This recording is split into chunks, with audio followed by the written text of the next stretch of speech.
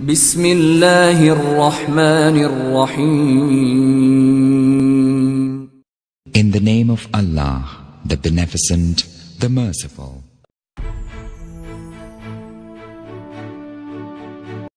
बसमीम welcome to latest education of mathematics आज की इस वीडियो में हम देखेंगे गाद एलिमिनेशन मेथड के क्वेश्चन को किस तरह सॉल्व किया जाता है। पिछले वीडियो में हमने देखा था कि गाद एलिमिनेशन मेथड क्या है।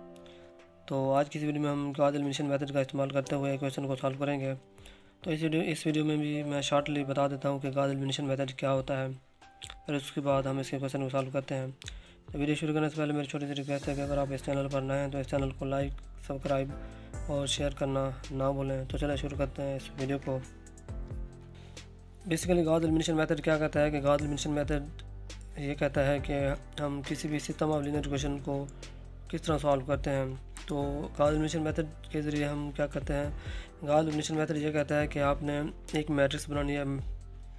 तो मैट्रिक्स में जो डायगनल है, जो डायगनल होगी, डायगनल इंट्रीज़ उसमें आपने क्या बनाना है? उसको वन बनाना है और डायगनल इंट्रीज़ के नीचे आपने क्या बनाना है? ज़ीरो बनाना है, तमाम इंट्रीज़ को। जैसे कि इस फॉर्म में आप देख रहे हैं, डायगनल में वन बनाना है मेन डायगनल में, और उसके नीचे आपने ज़ीरो बनाना है। और उसके ऊपर कुछ भी हो सकता है, यानी कि कोई भी non entry non negative non zero number हो सकते हैं। तो चलो देखते हैं इसकी एक एग्ज़ाम्पल को। हमारे पास एक क्वेश्चन है, वो कहता है कि solve the given system of linear equation by Gauss elimination method हमारे पास सिस्टम ऑफ़ इक्वेशन दी गई हैं। तो सबसे पहले हम इसको क्या करेंगे, आप चाहें तो इसकी मैट्रिक्स बना सकते हैं, उसके बाद इसको, इसका इस कॉलम को अलग फॉर्म में लिख सकते हैं। तो मैं यहाँ पे शॉर्टली लिखता हूँ, इसकी जस्ट सिंपली मैं क्या बना लेता हूँ? शॉर्टली एगमेंटेड फॉर्म मैट्रिक्स तो अगर आप नहीं जानते कि एगमेंटेड फॉर्म मैट्रिक्स किस तरह बनाई जाती है तो आप प्ले लिस्ट में इसकी वीडियो देख सकते हैं। तो यहाँ पे मैं इसकी एगमेंटेड फॉर्म मैट्रिक्स बनाता हूँ सिस्टम ऑफ़ इक्वेशन की। तो इसकी इसके क्वेश्चन को हम कैसे लिखेंगे? मैट्रिक्स फॉर्म में लिखते हैं। Two one three two three one four, two, three. और इसको ये जो इक्वल इक्वल के बाद जो एंट्रीज होती हैं, इनको हम क्या कहते हैं अपेंडेड कॉलम और अपेंडेड कॉलम को जो आर्गूमेंटेड फॉर्म मैट्रिक्स होती है, उसमें क्या किया जाता है डॉटेड फॉर्म लाइन के ज़रिए क्या किया जाता है सेपरेट फॉर्म में लिखा जाता है। तो इसकी आर्गूमेंटेड फॉर्म मैट्रिक्स क्या है तो ये हमारे पास आर्गूमेंटेड फॉर्म मैट्रिक्स बन चुकी है। इसके बाद हम इसको सॉल्व करते हैं गॉड एलिमिनेशन मेथड का इस्तेमाल करते हुए। तो चलो देखते हैं। गॉड एलिमिनेशन मेथड के ज़रिए हम इसे क्या करते हैं? Reduce row echelon form method के ज़रिए से सॉल्व करते हैं। आप कोई और मेथड भी इस्तेमाल कर सकते हैं। बेसिकली हमने गाज मिनेशन मेथड को नज़र में रखते हुए उसका, यानी कि उसके रिक्वायर्ड रिज़ल्ट को प्रूव करना है।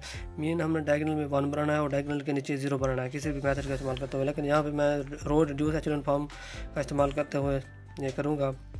तो देखते हैं। तो डायगनल में हम, हमें क्या बनाना है? अब वन बनाना है। वन बनाने के लिए हम क्या करेंगे?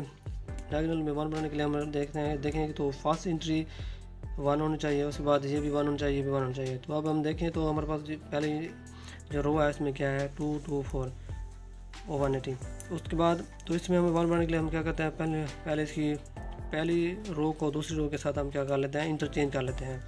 तो पहली रो को दूसरी रो से इंटरचेंज करने के बाद हमारे, देखें तो फ़र्स्ट रो में पर क्या आ गया? वन आ गया। उसके बाद हम क्या कर, उसके बाद हमारा दूसरा स्टेप क्या होता है? जो हमने डायगनल जो डायगनल में वन बनाते हैं, उसके नीचे क्या बनाना होता है? ज़ीरो बनाना होता है। तमाम इंट्रीज़ को। तो इसको ज़ीरो बनाने के लिए हम क्या करते हैं? आर टू में जो है ना आर वन के साथ मैं प्लस माइनस टू मल्टीप्लाई करके आर टू में ऐड कर देते हैं। यानी कि आर वन के साथ हम माइनस टू मल्टीप्लाई करते हैं और आर टू में ऐड करते हैं। ये बात रिमेंबर कर याद रखना है कि हम जिस रो पे ऑपरेशन करते हैं, उसको पहले लिखते हैं और जो ऐड करते हैं, उसको बाद में लिखते हैं। तो यहाँ पे हमने टू को ज़ीरो बनाना था तो हमने माइनस टू के साथ रो वन के साथ मल्टीप्लाई किया और उसमें आर टू में ऐड किया। जब ऐड करते हैं तो हमारे पास रिज़ल्ट क्या हो जाता है? ये बन, ये हो जाता है। ये क्या हो जाता है? ज़ीरो हो जाता है। इसी तरह हमने आर थ्री में ज़ीरो बनाना है। तो हम क्या करेंगे? आर वन के साथ माइनस आर थ्री से मल्टीप्लाई करेंगे और आर थ्री में हम ऐड करेंगे। जब हम आर थ्री में ऐड करते हैं तो हमारे पास रिज़ल्ट क्या बन जाता है? ये बन जाता है।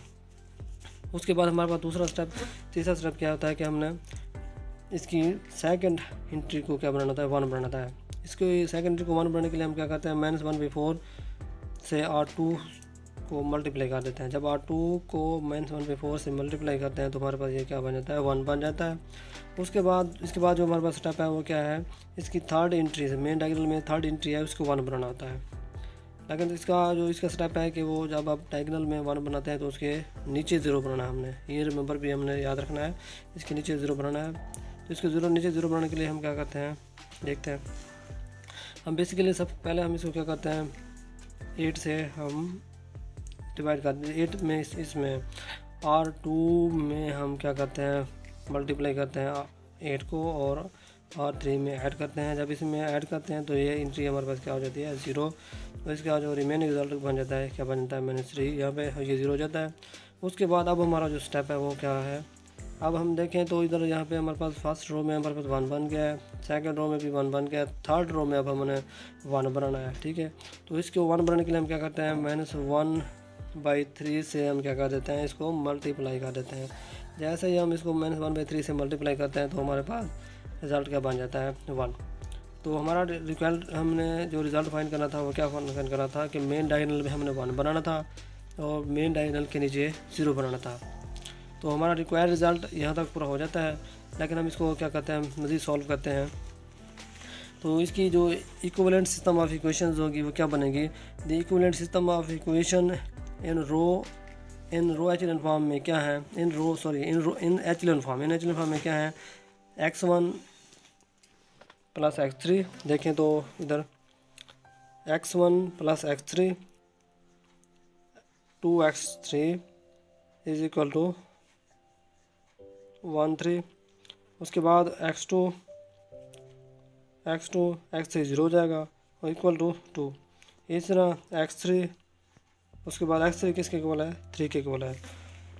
तो ये हमारे पास तो हमारे पास जो एच फॉर्म बनती है, वो क्या बनती है? X one plus three X two plus two X three is equal to one three, और X two is equal to two, X three is equal to three. जब हम इसको मज़ीद सिंप्लीफाई करते हैं तो हमारे पास एक्स थ्री की वैल्यू क्या आती है? थ्री एक्स टू की वैल्यू क्या आती है? टू और जब इसको एक्स थ्री को और एक्स टू को हम पुट करते हैं इक्वेशन नंबर वन में, इसमें तो हमारे पास जो एक्स वन की वैल्यू आता है, वो आती है वन तो अब हमारे पास जो सिस्टम ऑफ़ इक्वेशन की रिड्यूस रो एचलन फॉर्म बनती है, वो क्या बनती है? X one is equal to one X two is equal to two X three is equal to one तो ये थी हमारी आज की वीडियो। तो इस वीडियो में अगर कोई बात समझ ना आई हो तो आप मुझसे कमेंट सेक्शन में पूछ सकते हैं। Thanks for watching this video